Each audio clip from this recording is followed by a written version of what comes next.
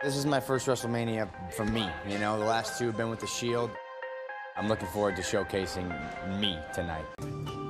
I'm just excited to walk down the ramp tonight, you know? I want to make sure that this is the start of something special for Seth Rollins. I want to make a stamp right out of the gate, make sure that, you know, no one can follow what I do, which is the goal on a nightly basis, but WrestleMania makes it a little more special.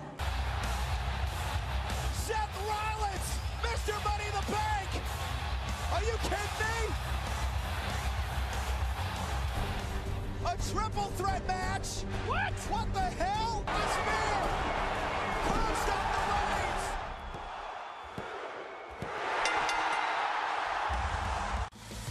Yes,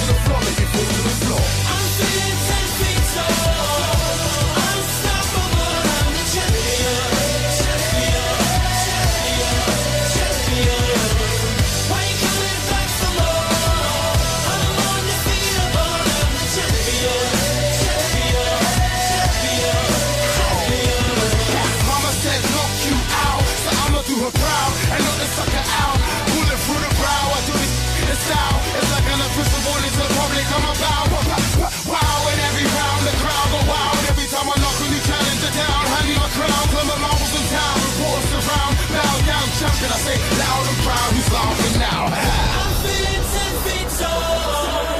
Unstoppable, I'm the champion.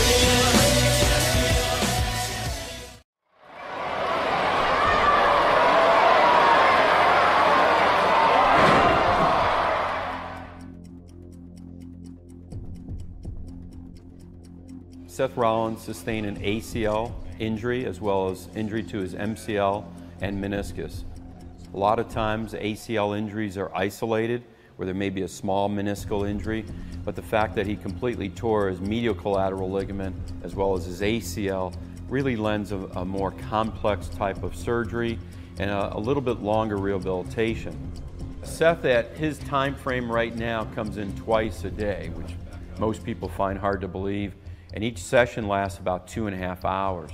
So he's actually rehabbing five hours a day he's very motivated. He wants to get back as fast as possible. He's really ahead of the course, what most people and even professional athletes have.